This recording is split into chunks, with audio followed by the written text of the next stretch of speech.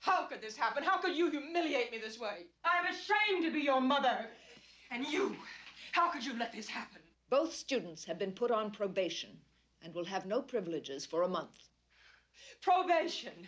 This is appalling. I have devoted myself to making Christina a proper young lady. That boy should be expelled. Now, Miss Crawford, when this sort of thing has happened before, we've. Before?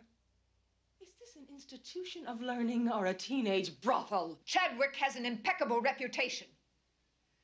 And when students break the rules, we curtail their freedom. Well, we are leaving here right now. Obviously, she cannot be controlled in this environment. Nothing really happened between your daughter and the young man. It was innocent. No thanks to you. I think you're overreacting, Miss Crawford. And I think you're underreacting, Mrs. Chadwick.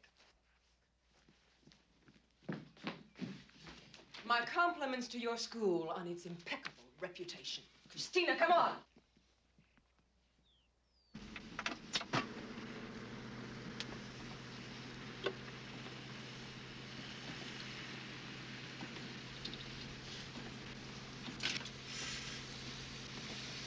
There's a liquor store to the right.